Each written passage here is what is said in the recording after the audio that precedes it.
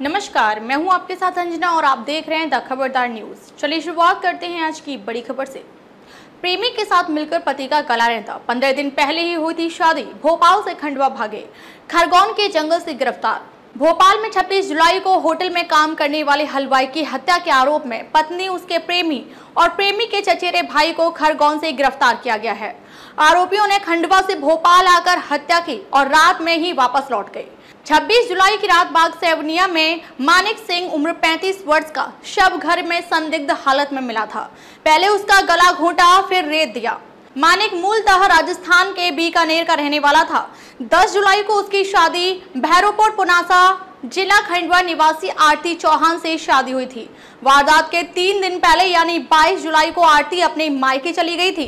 Police ने जब उसे बयान के लिए बुलाया तो उसने आने से मना कर दिया। इसके बाद पुलिस ने आरती के खिलाफ साक्ष्य जुटाना शुरू किए। एसआई भोजराज सिंह के मुताबिक जाँच में पता चला कि घटना वाली रात आरती अपने प्रेमी राजा वर्मा और उसके चचेरे भाई रंजीत के साथ बाइक से खंडवा से भोपाल आई थी।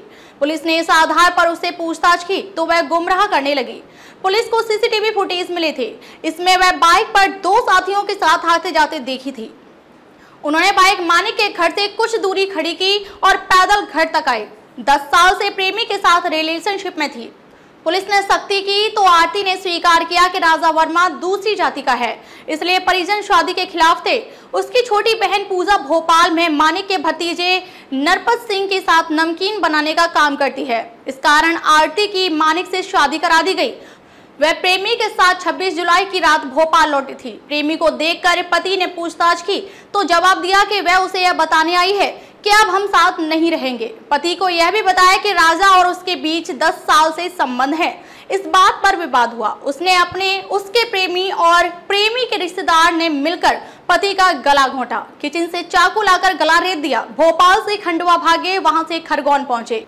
पुलिस के मुताबिक माने की हत्या के बाद तीनों आरोपी खंडवा गए थे।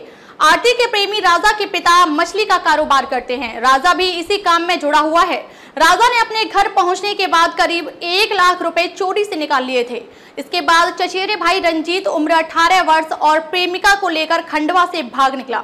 अब तक के लिए बस इतना ही, फिर होगी आपसे मुलाकात एक ऐसी ही बड़ी खबर के साथ। तब तक लिए नमस्कार और देखते रहिए द खबरदार न्यूज़।